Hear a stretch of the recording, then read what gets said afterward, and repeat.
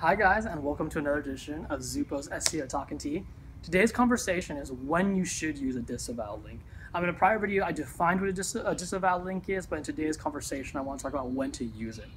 But before we begin, I do want to introduce the tea we have today. Today we have a pu'er tea. It's not Kirkland's chocolate. I just use this container to store it. This is a pu'er tea that uh, I was gifted to by my uncle. I drink this the most. I probably uh, there's no tea in my house that I drink more than this tea. Um, it's for two reasons. One, pu'er tea is a very strong kick, and I like having it in the morning to kind of keep me going throughout the day. And then second, I have a lot of it, so I like to drink what I have the most of, so that you know I don't run out of everything else. So let's go ahead and start talking about when to use a disavow link. So th- something I want to clear up with disavow links, and actually hold on, give me a second. Let me just start brewing. I forgot. This is SEO talking tea. How could I forget to brew? Um, but when to use a disavow link. What's important about disavow links is yes, I've talked about how they're used for risk mitigation.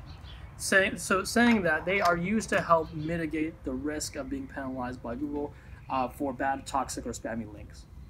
Now the important thing is disavow links are a little bit I would say they're not controversial, but there are a lot of differing opinions about how and when to use a disavow.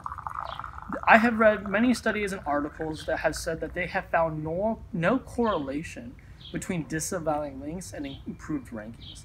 So what I mean there is if you have a, a website that you are a little concerned about the quality of links coming in, I would say your first thought may be let's disavow those links. But my argument is there have been no studies showing that disavowing links improves your rankings.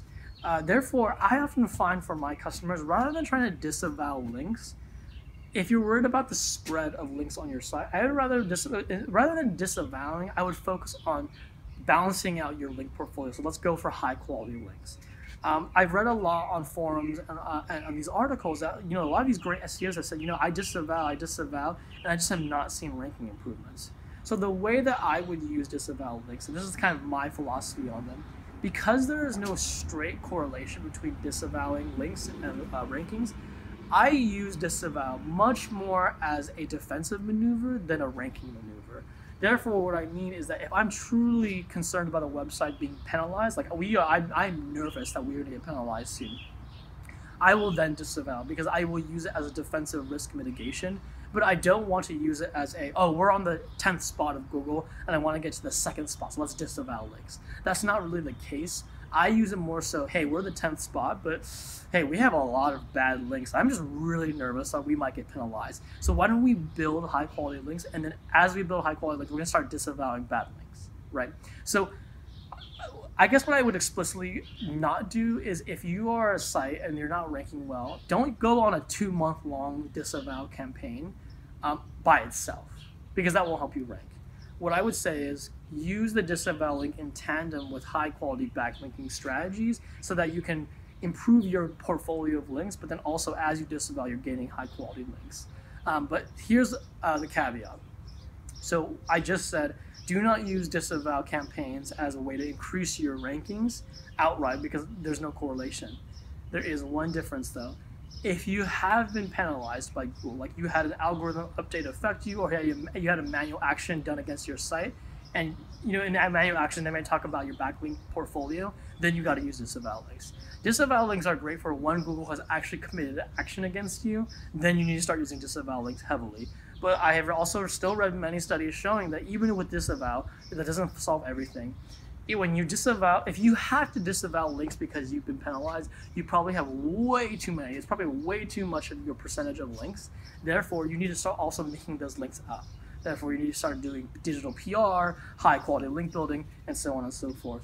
So disavow is a very strong tool, but what I want to make sure people understand is it's not a ranking, uh, exactly a straight correlated ranking tactic. It is a risk mitigation and penalization, um, penalization uh, mitigation tactic.